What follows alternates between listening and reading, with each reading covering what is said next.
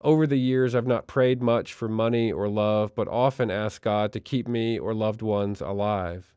I've prayed often for my children that they would not be terrible human beings or die in some sad, specific way, such as on a paddle boat.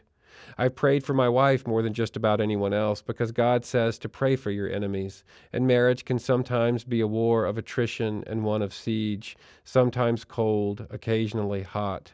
But at the prayer breakfast, I could not pray the prayers I needed to pray, and even though I knew Lauren was already drifting away from me, I hoped God could hear those prayers trying to break free of my heart, tight as a gorilla fist.